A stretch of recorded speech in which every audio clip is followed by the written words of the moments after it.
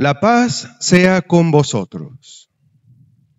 En tres ocasiones, el evangelista San Juan nos refiere en este pasaje que lo repitió Cristo nuestro Señor a sus apóstoles. La paz sea con vosotros. Y dicho esto, narra San Juan, les demostró sus manos y su costado. Y nuevamente les repitió, la paz sea con vosotros, y dice San Juan que los discípulos se llenaron de alegría, de gozo. ¿Cómo es que Cristo nuestro Señor en este Evangelio, en este pasaje evangélico, repite tres veces que nos da la paz, que viene a darnos la paz? Cuando en otra ocasión, durante su predicación, expresa y claramente dijo, no he venido a traer la paz, sino la guerra. ¿Que acaso quien es la verdad se ha contradecido, se ha contradicho?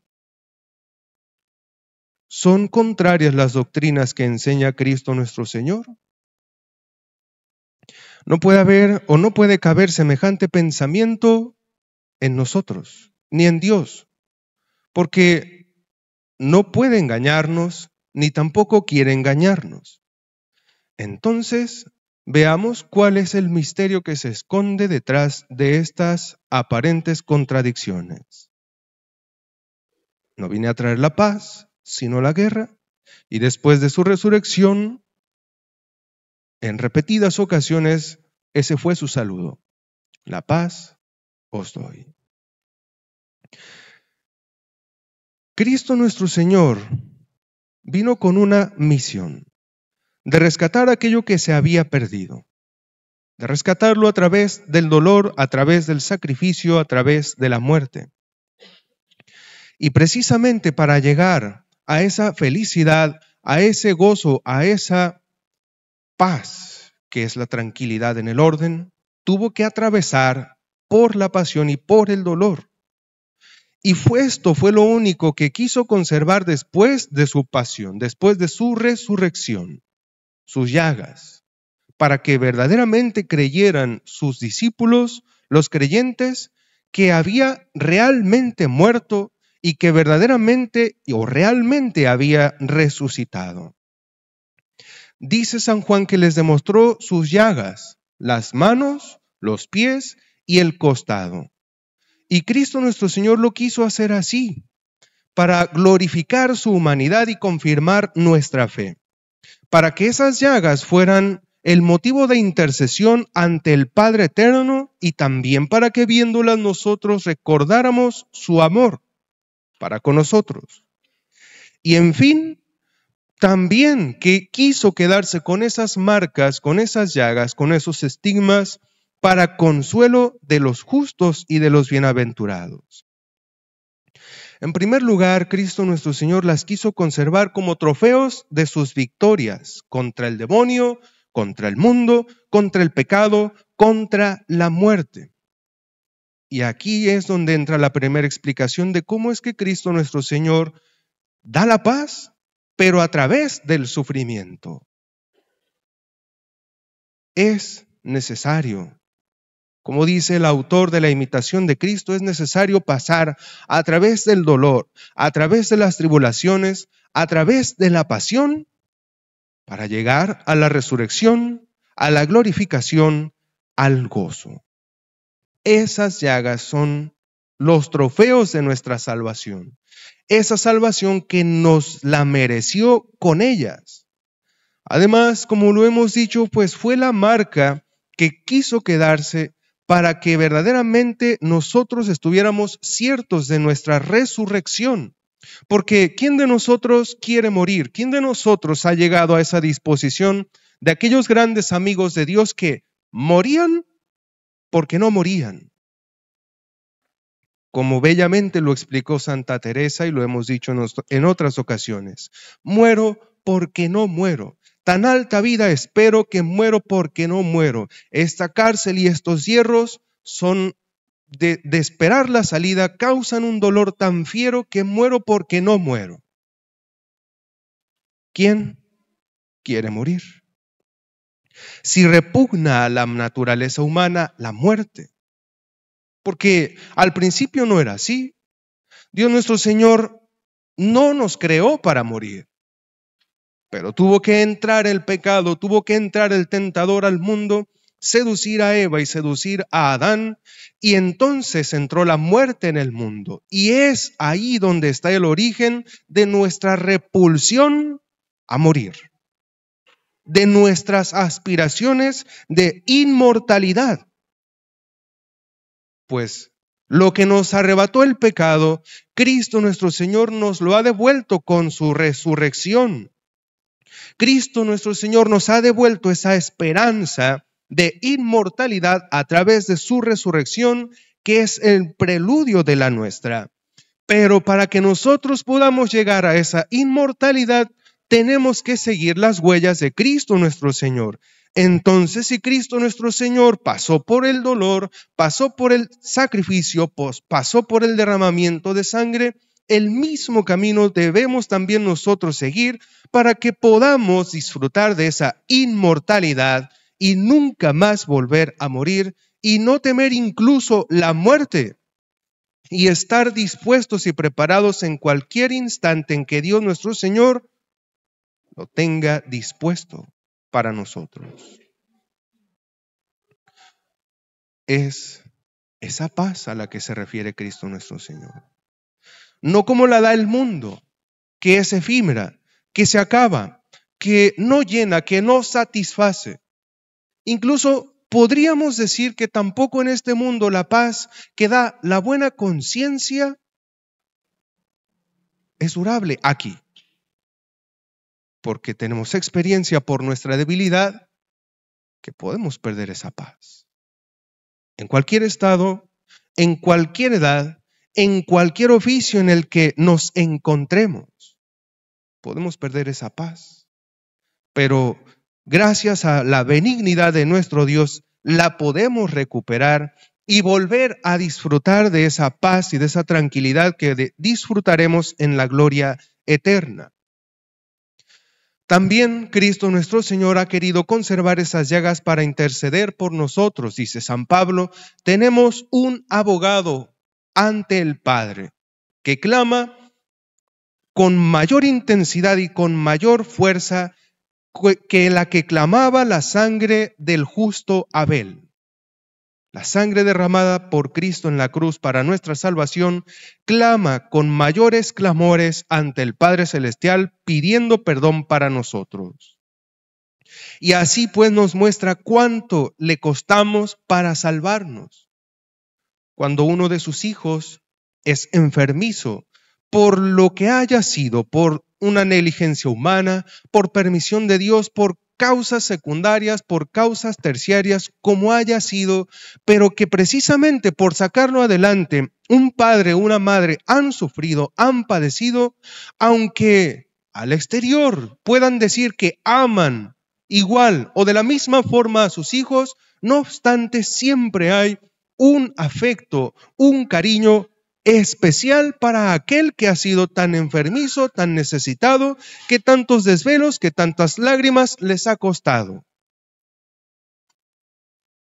Pues, así ha sido Cristo con nosotros. Somos el precio de su sangre. Ha salvado nuestras almas y nuestros cuerpos a través del dolor, a través del derramamiento de toda su sangre. ¿Por qué, pues, querer insistir en servir a un enemigo de Cristo nuestro Señor, a los enemigos de nuestra salvación? ¿Por qué dejarnos llevar por las vanidades del mundo si ya las hemos renunciado en el bautismo cuando éramos pequeños y cada año las renunciamos cuando asistimos a la vigilia de la vigilia solemne de la Pascua que volvemos a renunciar al enemigo de nuestra salvación, al demonio, al mundo y a la carne, y, que aceptamos y creemos en, en, las verdades que Cristo nuestro Señor nos ha enseñado, en los mandamientos que nos ha prescrito y en los medios que nos ha dejado para salvarnos. ¿Por qué insistir, pues, o andar, como dice San Juan, en las vanidades del mundo o haciendo caso a las inclinaciones de nuestra carne.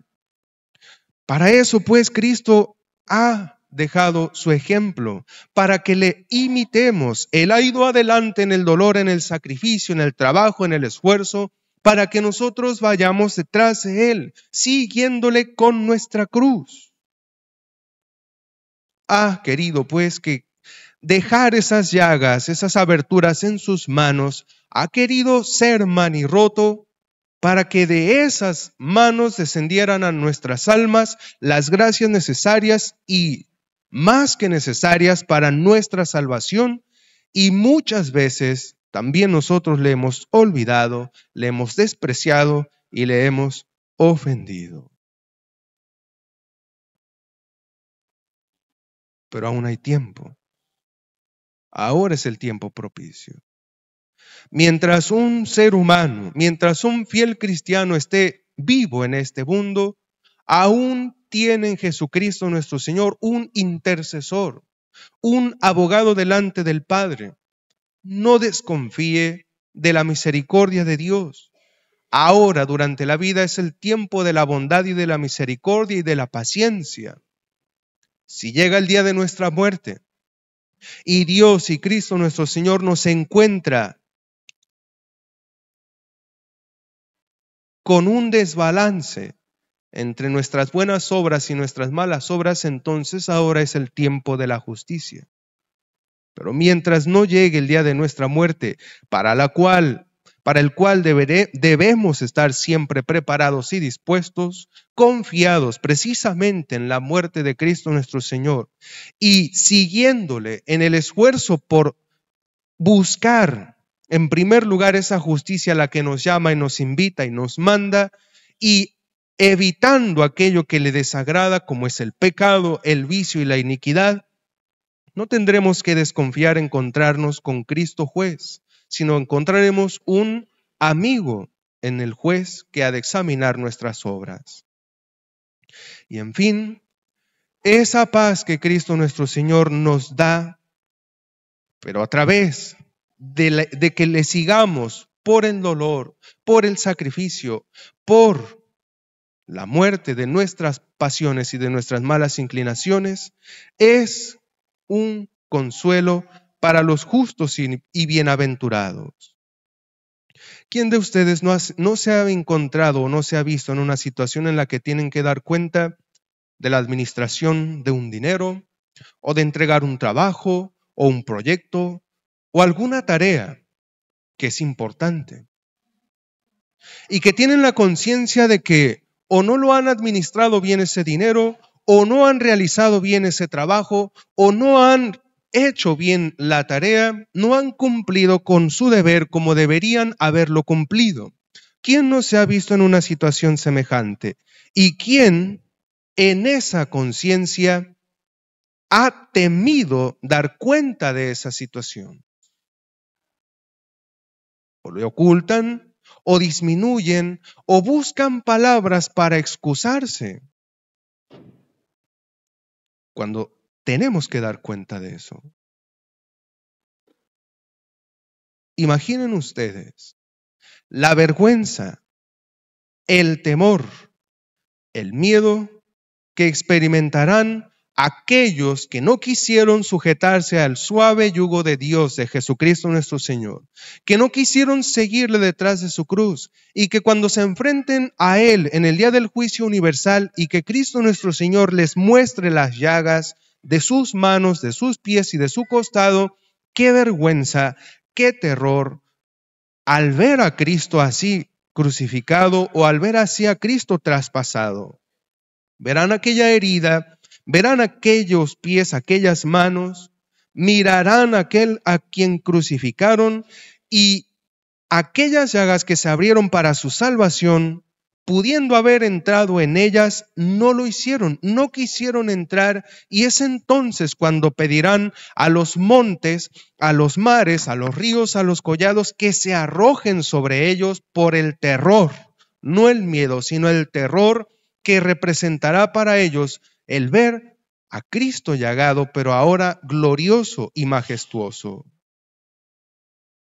Pero por el contrario, aquellos que precisamente han sido abatidos, aquellos que han sido burlados, aquellos que han sido perseguidos y que les han dicho eso de casarse y, y, mantener la virginidad hasta el matrimonio ya es antigüedad, ya es un arcaísmo, ya no se usa ahora, ahora el amor es libre. O aquel que le dice, pues cásate otra vez, tienes derecho a rehacer tu vida. O aquel que les dice, si no es suficiente una mujer, entonces ve tras otra.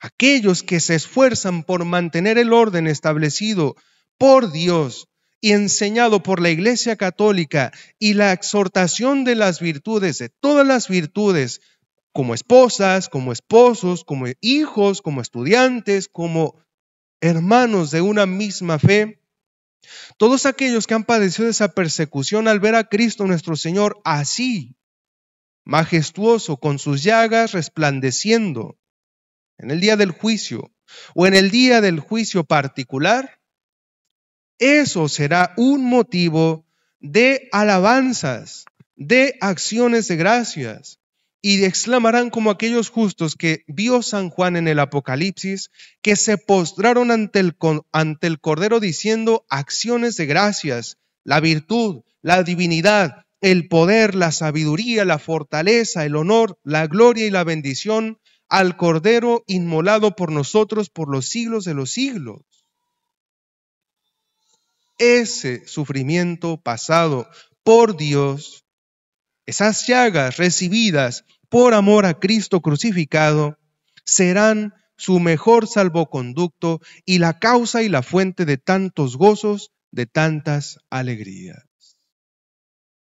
Y es ahí donde verdaderamente comenzará a disfrutarse de la paz que da Dios, que da Jesucristo. Esa es la única paz que puede hacer feliz al hombre. No puede haber paz en el pecado. Ya lo dijo el Espíritu Santo, no hay paz para el pecador. Pero para aquel que ama a Dios, para aquel que cumple la ley de Dios, hay mucha paz